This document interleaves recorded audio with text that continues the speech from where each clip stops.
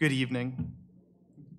I want to I want to start by first off again expressing the gratitude and the thanks that Terry expressed this morning for all of your generosity and your love and your affection, not only especially during this time, but all throughout the year. It is greatly appreciated. The second thing I want to do is warn you. See, normally I start my work week on Tuesday. I sit down at my desk Tuesday morning. I would like to say the first thing I do is turn on my computer, but the first thing I do is I turn on the coffee. And I, you, normally what happens is I sit there and I start writing out ideas of what could become sermons or classes or lessons, and I'll have a couple rough outlines. And then by Tuesday, I usually steer all of my attention into one and begin working on that. Well, that didn't happen this week. And normally by Friday, I have one complete lesson or sermon or class. And this week, I sat down at my desk on Tuesday morning, turned on the coffee, then my computer, and I started sketching out some ideas, and I don't know what happened, but Friday came, and I didn't have one complete sermon. What I had was five short devotionals or five short sermons. And unfortunately, they were all kind of time sensitive, so they're all happening tonight. We'll try to make this quick. Maybe my attempt to make this quick will mean we'll get out early, or maybe I'll fail completely and we'll be here all night. But the whole theming or the idea behind these short series of lessons is I wish it was Christmas every single day of the year. And that's not because of I want the gifts or I want to give gifts or the envelope of money that Terry mentioned this morning, that again, we're very thankful for. If you want to make that a everyday occurrence, I won't. I won't argue too hard. But that's not the reason I wish it was Christmas every single day of the year honestly, it's not even Christmas Day. It's the things that we talk about during the Christmas season. It's the stories we tell, the movies we watch, the lessons that we as a society hold as important during the month of December, November included, and January included. If you're in my household, I'm sorry we start celebrating Christmas before we do Thanksgiving. But it's the stories we tell and what we talk about, it's the movies we watch. Christmas stories, although often fictional, often serve as profound reflections of who we are as a people, who we are in human nature, what we value as a society. And frankly, the other 11 months of the year, it feels as if, at least in my point of view, that the rest of the world, we as a society, don't place much value in anything positive until December comes around. And then all of a sudden, we start talking about love and giving and change and what it means to serve and to care and to help other people. I think about Charles Dickens' A Christmas Story, which, by the way, this Tuesday, I believe, marked its 100th anniversary from being published. Charles Dickens' A Christmas Carol, it's a timeless story about transformation, about resilience, about a person who, Ebenezer Scrooge, who is pretty much the definition, the starkest portrayal possible of what it means to live a solitude, a life of solitude, and a life of misery. And he begins to go through this haunting transformation. And I say haunting quite literally. Now, I know it's a Christmas movie, but right off the bat, we have three ghosts. We have past, present, and then the ghosts of the future, the potential future. And led by these ghosts of Christmas, Scrooge looks at who he is as a person. His past reveals all of the missed opportunities that he has had the missed opportunities for joy, the missed opportunities for connection, the missed opportunities for family.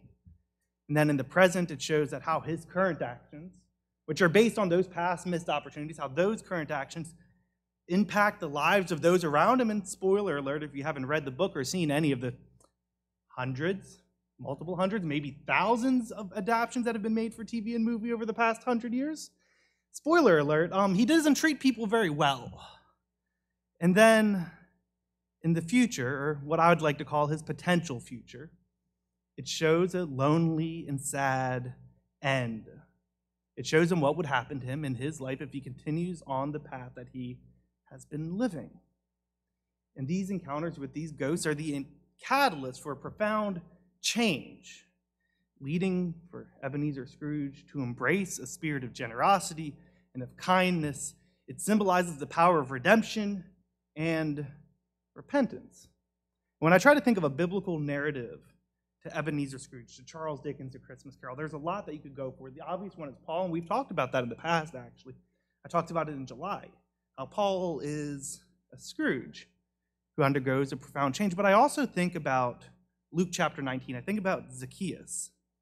Zacchaeus was a chief tax collector in Jericho, and tax collectors were often despised in Jewish society for their collaboration and corroboration with the Roman Empire and their frequent exploitation for their own monetary gain and how they may or may not have turned their backs on their own people to make a few dollars. And apparently people didn't like that. So they didn't so Zacchaeus wasn't a very much loved man, and he wasn't very much a good man at the beginning of his journey. He did those things to people. He defrauded people. He wronged people. He turned his back on what you would call his people in order to make a little bit of money. But then in Luke chapter 19, he meets a man named Jesus. And by the end of that story, in verse 8, it says, And Zacchaeus stood and said to the Lord, Behold, the Lord the half of my goods I give to the poor, and if I have defrauded anyone of anything, I restore it fourfold. Charles Dickens, A Christmas Carol, initially portrays Ebenezer Scrooge as a man, as a symbol of greed and solitude. And he's led on this transformative journey. And in the same way, we meet Zacchaeus, and he is a symbol of greed and solitude. And then he does two of the R words we talked about earlier. He is redeemed by his faith in Jesus, and he repents. And repentance, I think, is the word that we know here in the church world, right? True repentance involves a heart of examining our own lives, recognizing our own wrongs, seeing what we did to get into the situation that we are now in, looking at the ghosts of Christmas past, recognizing our present, the impact we have on the people around us, and looking towards our future. What changes do we need to make in order to be different, in order to be redeemed, in order to live the life that God intends for us. Repentance. See, that's, that's lesson number one. Lesson number two is one of my favorites. It's the Nutcracker. The Nutcracker is a magical story, right? It weaves a tale of childhood wonder and bravery and the ongoing and never ending battle between good and evil. And the journey of this story, depending on its adaptations, follows a protagonist. Typically, it's a young girl, often named Clara. And Clara goes into this fantastical world that highlights the power of imagination, the power of belief, shows the miraculous. And in this allegorical narrative, it showcases the triumph of good over evil and the bravery of children, emphasizing the power that is in the purity and the strength found in childlike faith and childlike wonder. And I think it's pretty obvious where my brain goes when I start to define the nutcracker in that sense. I turn to Matthew chapter 18, verse 3, and Jesus says, Truly I say to you, unless you turn and become like children, you will never enter the kingdom of heaven. Now, I think we have to start to define a few things when we look at these verses. When we try to tie the ideas of Jesus' teaching of childlike wonder to the story of the nutcracker, think we have to understand what it means to become like a child. Because childlike awe, as seen in the nutcracker, is talked about by Jesus here, is not ignorance. It's not being naive. It's not being foolish. It's not being silly. It's not being childish. Rather, it's the profound sense of wonder and the openness to the things that you don't understand. Because as a child, you don't understand a lot of things.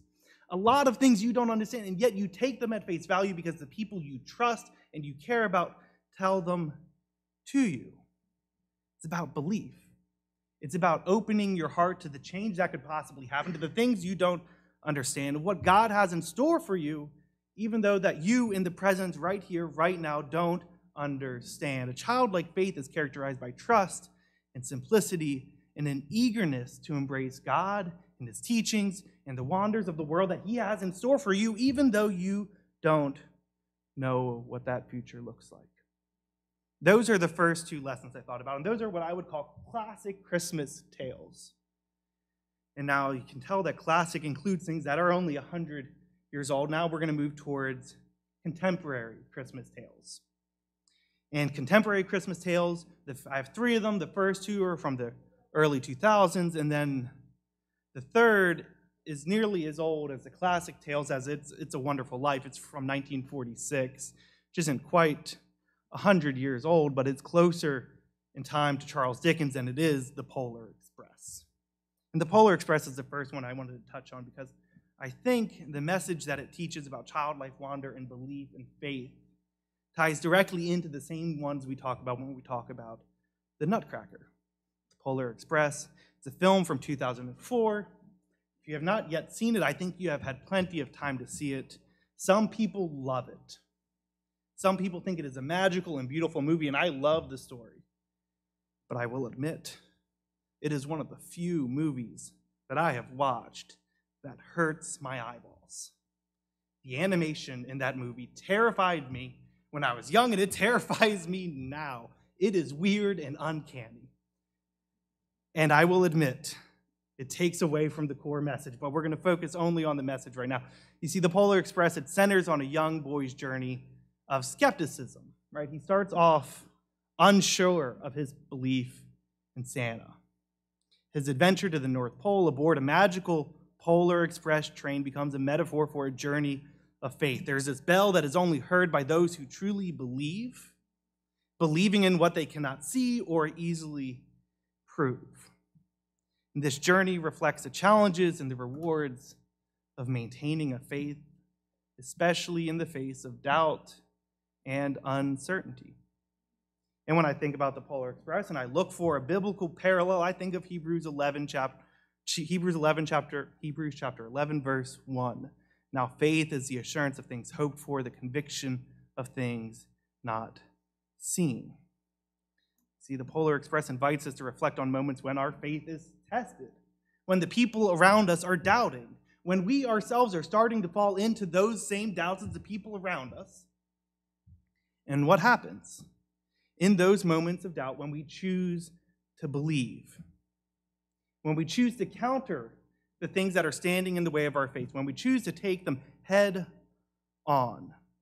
In these moments, like the boy hearing the bell, our faith calls us to hold on to our belief in God's goodness and his overarching plan for our lives.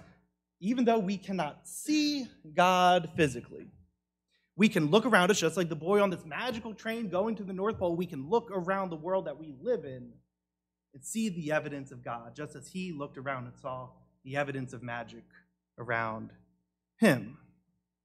So when I think about the Polar Express, I think about steadfastness, the holding on to the faith even in the midst of challenges, even when you don't see God or his actions in the world around you. Because that doesn't mean that God's not there. It just means you close your eyes to that childlike wonder, that you close your eyes to what is possible with a faith in a God who can do anything. Moving on to our second contemporary Christmas tale is the movie Elf from 2003. See, an Elf, Buddy is a man, a full grown adult. One doesn't know he's a full grown adult, nor knows he's human. He thinks he's an elf. And because of these two major things that he's been misled on in his life, he is filled with this infectious joy and innocence. And he stands out starkly against the backdrop of a cynical world. His journey starts off in the North Pole in Santa's workshop where everything is magical and cheery and happy and childlike. And quickly moves the big, cynical city of New York. And you can imagine, as a person who is joyous and childlike and innocent, moving to a big city like New York, you have two options. One is you can let that beat you down and break you and form you into the rest of the world around you, or you can stand out. And the movie Elf, although supposedly about Christmas, I think it's more about this full grown adult man running around New York City, spreading cheer and happiness and joy in the face of everybody who is angry at him for doing so. When I think about standing up for joy, even when the world around you says otherwise. I think of Philippians chapter 4, verse 4. Rejoice in the Lord always. Again, I will say rejoice. Because Buddy's infectious joy and enthusiasm reflects our biblical call to find joy in circumstances that are good and in circumstances that aren't so good. And infectious joy is, at its essence, optimism, relentless optimism. That good can overcome evil, that joy can break down and defeat sadness, that light is stronger than darkness. And throughout this film and throughout our Christian walk, we see that time and time again that joy is stronger than any darkness in the world, that joy in the Lord is one of the most powerful tools that we as Christians have. And yet, as people who live in this metaphorical New York, in this cynical world where everybody around us is grumpy and cranky and complaining that the world is on fire and everybody hates each other and there's war everywhere and nothing ever good can happen, I think we start to stop standing out. We stop being Buddy the Elf. And we start being big time New York City lawyer who's just as grumpy as everybody else. So when I think of the movie Elf, think about relentless joy, relentless optimism, standing out in the crowd, being a light in the darkness even when you don't feel that bright. And then our fifth and final contemporary Christmas tale is It's a Wonderful Life. George Bailey's story in It's a Wonderful Life is a profound exploration of what selflessness and sacrifice can do and the impact one individual can have on an entire community. Despite facing numerous challenges and sacrificing his personal dreams, George's life by the end of the film is shown to have a significant positive impact on all of the people around him. And in the film's climax, where George sees what life would have been like without him, we understand finally the importance of what one person, of what one soul, the impact that one Christian can have on the world. Galatians chapter 6, verses 9 and 10 And let us not grow weary of doing good, for in due season we will reap if we do not give up. So then, as we have opportunity, let us do good to everyone, and especially to those who are of the household of faith. You see, drawing our inspiration from George Bailey, we're reminded that the importance is recognizing two things recognizing our own worth, the impact that we can have, the value we bring to a community, to a society, to a family, and recognizing the value and the worth of those who are around us. Recognizing that, yes, maybe we can say we're special because we have an impact on other people, but that other person is just as special, just as impactful, just as powerful as we are because they impact the same people that we do. Every body is a living soul, and every soul is important. And that includes those of those souls that are what we would call family, those souls that what we would call strangers, and those souls in which we would refer to ourselves as I. You are important because everybody is. And so those are the five lessons that I wanted to focus on tonight. Those are the five lessons that I sat down at my desk on Tuesday morning and I sat down and I looked at and I said, these are five important topics that have nothing to do with each other, other than they are all taken from classic Christmas tales. And by the time by Friday came around, I realized that these lessons have more in common than I thought. See, as we reflect on these lessons from classic and modern Christmas stories, I think we see a theme a theme that is woven throughout all of this holiday season a theme of redemption, a theme of faith, a theme of joy, a theme of selflessness. I think we see the theme, I think we recognize that in the month of December, and probably only in the month of December, the whole world around us, or at least a large portion of it, values the same things that we as Christians are told to value. The world finally, for one month a year, values the same things that our Father finds important. For one month a year, the whole world recognizes the values and the teachings that the Son of God came to earth to try to imbue in his followers. And I think it would be silly of us to be like the world, to only focus on these important values and characteristics and lessons for one month a year. Because we are Christians 24 7, 365, 12 months a year. And yet sometimes it feels like we only care about these certain qualities, these certain characteristics one out of 12 months a year. So tonight, I leave you with a challenge. Think about what you find important in the holiday season, what you find important in Christmas, what you find important in your personal walk, in your personal relationship with God, in your personal relationship with your studies, in your own personal relationship and understanding of your salvation. Find what you find valuable. Recognize what is important and find ways in your daily life to exhibit those characteristics. Because these reflections not only reflect who we ought to be, they reflect how we got to where we are. And I think everybody here in this room is a Christian. I think everybody here in this room has been baptized, has joined God's family, has become a member of his church. I think everybody here understands what it means to wear the name Christ, understands what it means when you go out into the world and say, I am a Christian. I am of Christ. I am a follower of the Son of God who came to earth to die for the sins of the whole world in order that people, all people, the human race, have an opportunity to be reunited, creator and creation.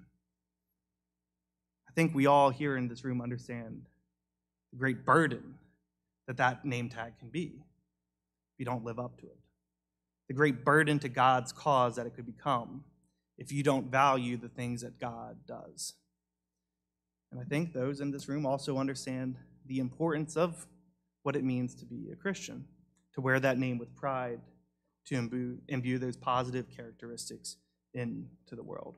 So tonight I leave you with that challenge. Go out into the world, find what makes your faith important, find what the world values in this holiday season, and spread it 24 7, 365. If you're not a Christian and you need to be brought into the church, now is the time to take those steps. Or if you are a Christian and you've realized that you have not been living like a Christian 12 months a year, and you've only been living like a Christian one, maybe two, if you count November, months of the year, if you feel as if you haven't always been who you ought to be, or you were at one point and now you feel as if you have been beaten down and defined by a cynical world to blend in, and you need to change, you need the prayers of the congregation, you need a study, you need a shoulder to cry on, lean on, talk to. Whatever your needs are, if there's any way the body here can help you tonight, I encourage you to come forward as we stand and sing together.